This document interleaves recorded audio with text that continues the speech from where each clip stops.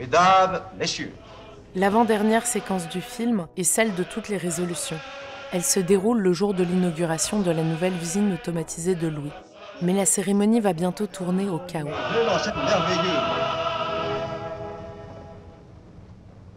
dans notre nouvelle usine, les hommes n'auront d'autre travail que la surveillance des machines.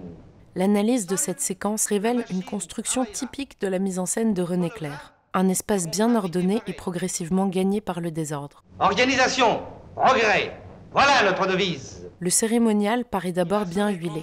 Louis, à la tribune, fait face à ses employés et aux dignitaires sagement disposés de part et d'autre de la cour de l'usine. Si vous voulez bien couper cette guirlande, La composition du cadre souligne le jeu de contraste entre ouvriers et bourgeois disposés de part et d'autre. Au signal voulu, la chaîne automatisée se met à produire des phonographes sous l'œil émerveillé du public. C'est très simple. On met les matériaux là-bas, on ne s'occupe de rien, et... Et voilà. Mais la joie de Louis est bientôt assombrie par la vision d'un policier. Aux destinées de cette usine. Cet homme, qui malgré ses débuts modestes, a su acquérir une place cette canaille, cette vieille crapule, c'est bien lui. Tandis qu'un orateur fait son éloge à la tribune, un raccord nous fait passer dans le bureau du commissaire où celui-ci dresse un tout autre portrait de Louis.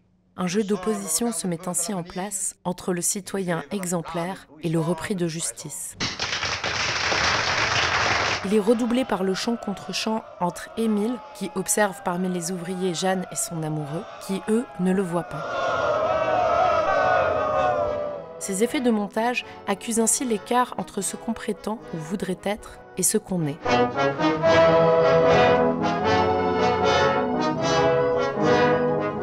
Et je fais don de mes usines à tous ceux qui ont collaboré avec moi. L'intervention d'un élément proprement fantastique va renverser ces équilibres. Tandis qu'un montage alterné voit une voiture de police se garer devant l'usine, une brise légère parcourt l'assistance. Le destin m'appelle vers une autre route. Elle s'intensifie, forçant bientôt les messieurs à maintenir leur chapeau sur leur tête. Sur le toit de l'immeuble, la malle pleine de billets que Louis s'est fait dérober glisse tandis que le vent en répand le contenu. Au début, chacun fait mine de ne pas voir les billets qui tombent du ciel. Mais un vent de folie s'abat bientôt sur les bourgeois qui se ruent sur l'argent. Pagaille, les policiers perdent la trace de Louis qui a filé. Seul le vieil orateur continue, imperturbable, son discours à la tribune.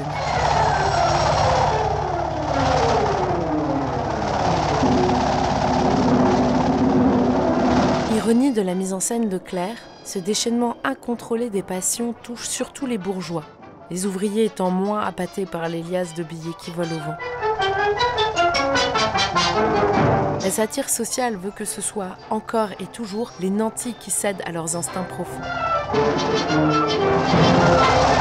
L'estrade s'effondre sous la poussée du vent et les plans en plongée sur la cour dépeuplée ne montrent plus qu'un ballet surréaliste de billets et de chapeaux haut de forme.